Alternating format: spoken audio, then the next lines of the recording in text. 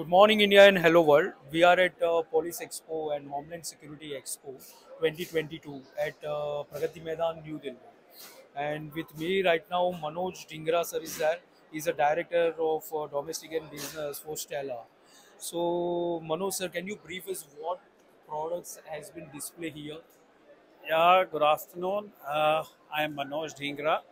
Uh, I look after uh, you know the services and the software. Uh, we are a 28 year old organization. We are into a very niche segment of data recovery. We are the one who started this data recovery field in India. So presently, we uh, at this expo we have come up with all our services, uh, services of data recovery from all kind of uh, laptops, desktop, and servers. Uh, and more importantly, we have just come uh, come up with a new data recovery from an NVRs. Uh, and uh, with respect to products, uh, we have all the products, DIY products, uh, which can recover the data from majorly all operating systems in case if the data has been lost due to logical problems. Is there any innovative product are you displaying here in this event? We are on round and you can talk.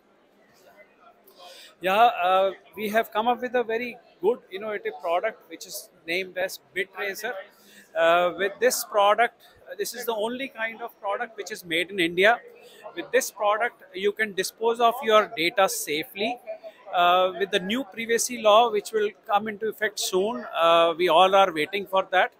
And uh, uh, you know, this particular product will help the to ensure the data privacy and uh, will certainly give you a, you know a safe disposal of the data uh, with a, a certificate which can be used in the audit trail with all the government organization and even the corporates. This will help to ensure the data confidentiality of everyone thank you, thank you very much, sir, uh, Manoj sir, for your valuable time.